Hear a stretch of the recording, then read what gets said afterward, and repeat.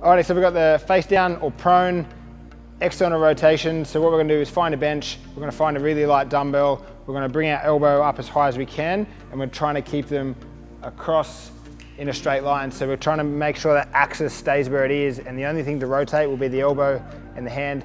So he's gonna rotate, and the idea is to keep a right angle between his humerus and his forearm, and he's just gonna sit there and literally rotate, meaning He's fighting gravity to keep that arm in position already. So his external rotators, rotator cuff, rotator cuff muscles are working really hard to stabilize the shoulder joint. And now he's getting some end range structural stability through the back there at the same time. So awesome drill uh, to supplement with the external rotations on the knee as well.